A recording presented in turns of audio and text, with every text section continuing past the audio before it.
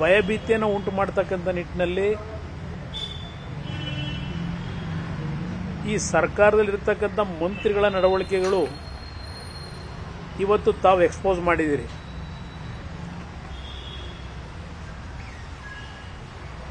ಇಲ್ಲಿ ಸನ್ಮಾನ್ಯ ಮುಖ್ಯಮಂತ್ರಿಗಳಿಗೆ ನಾನು ಕೇಳಲಿಕ್ಕೆ ಬಯಸ್ತೀನಿ. ಯಾವ ಮುಖ್ಯಮಂತ್ರಿಗಳು ದಲಿತರ ಉದ್ಧಾರಕ ನಾನು ಅಂತ ಹೇಳ್ತಾರೆ ಈಗಿನ ಸರ್ಕಾರದಲ್ಲಿ ಈ ಸರ್ಕಾರ ರಚನೆ ಆದ ಮೇಲೆ ಕಳೆದ ವಿಧಾನಸಭಾ ಚುನಾವಣೆಯಲ್ಲಿ, ವಿಧಾನಸಭೆಯ ಕಲಾಪದಲ್ಲಿ ಒಂದು ಬಿಲ್ ಬೇರೆ ಪಾಸ್ ಮಾಡಿದ್ರು. ದಲಿತರ ಭೂಮಿಗಳನ್ನು ಹಲವಾರು ಪಟ್ಟಪತ್ರ ಹಿತಾಸ ಹಿತಾಸಕ್ತಿ ಹೊಂದಿರತಕ್ಕಂಥವರು ಅವರಿಂದ ಜಮೀನುಗಳನ್ನು ಲಪಟಾಯಿಸ್ತಾ ಇದ್ದಾರೆ. ಅದಕ್ಕೋಸ್ಕರ ಒಂದು ಪ್ರಮುಖವಾದಂಥ ಒಂದು ವಿಧೇಯಕವನ್ನು ಮಂಡನೆ ಮಾಡ್ತಿದ್ದೀವಿ ಅಂತ ಹೇಳಿ ಈಗಿನ ಕಂದಾಯ ಸಚಿವರು ಕೃಷ್ಣ ಬೈರೇಗೌಡರು ಬಹಳ ದೊಡ್ಡ ಮಟ್ಟದಲ್ಲಿ ದಲಿತರ ರಕ್ಷಣೆ ಮಾಡಲಿಕ್ಕೆ ಹೊರಟಿದ್ದೇವೆ ಅಂತ ಹೇಳಿ ಒಂದು ವಿಧೇಯಕ ತಂದರು. ದಲಿತರ ಭೂಮಿಗಳಿಗೆ ರಕ್ಷಣೆ ಕೊಡ್ತೀವಿ ಅಂತ ಹೇಳಿ. ಈಗ ಅವರ ಸಚಿವ ಸಂಪುಟದ ಮಂತ್ರಿಗಳು ಆ ದಲಿತ ಕುಟುಂಬದ ಜೊತೆ ಹಣಕಾಸಿನ ವ್ಯವಹಾರಗಳು, ಭೂಮಿ ಖರೀದಿ ಮಾಡಿರ್ತಕ್ಕಂಥದ್ದು ಅವರೇನು ಹೇಳ್ತಾ ಇದ್ದಾರೆ, ನ್ಯಾಯಯುತವಾಗಿ ತೆಗೆದುಕೊಂಡಿದ್ದೇವೆ ಅಂತ ಹೇಳಿ, ಆ ನ್ಯಾಯಯುತವಾಗಿ ಕಾನೂನುಬದ್ಧವಾಗಿ ಇರ್ತಕ್ಕಂಥದ್ದಕ್ಕೆ ನನ್ನ ತಕರಾರಿಲ್ಲ ಇದ್ದರೆ ಆದರೆ ದಲಿತ ಸಮಾಜದ ಎರಡು ಹೆಣ್ಣು ಮಕ್ಕಳು ಪೊಲೀಸ್ ಠಾಣೆಯಲ್ಲಿ ಅವರುಗಳ ಮೇಲೆ ದೌರ್ಜನ್ಯದ ಅತ್ಯಂತ ಕೆಟ್ಟ ರೀತಿಯ ಪದಬಳಕೆ ಮಾಡಿ ಆ ಕುಟುಂಬಗಳ ಬಗ್ಗೆ ಭಯಭೀತನಾಗಿ ಮಾಡಿರ್ತಕ್ಕಂಥ ಹಿನ್ನೆಲೆಯಲ್ಲಿ ಒಂದು ಕೇಸನ್ನ ಬುಕ್ ಮಾಡಿದ್ದಾರೆ ಈಗ. ನಾನು ಅಧಿಕಾರಿಗೆ ಪ್ರಶಂಸೆ ಮಾಡಬೇಕಾಗ್ತದೆ ಅಭಿನಂದಿಸಬೇಕಾಗ್ತದೆ. ಏಕೆಂದರೆ ಇತ್ತೀಚಿನ ರಾಜಕೀಯದ ಸನ್ನಿವೇಶಗಳನ್ನು ನೋಡ್ತೇನೆ ನಾನು.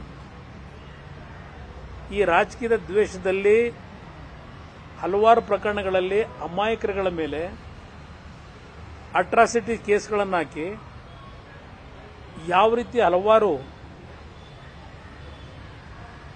ಅಧಿಕಾರ ದುರುಪಯೋಗ ಪಡಿಸ್ಕೊಂಡು ಅದನ್ನು ದುರ್ಬಳಕೆ ಮಾಡ್ಕೊಳ್ತಕ್ಕಂಥದ್ದು ಒಂದು ಭಾಗ.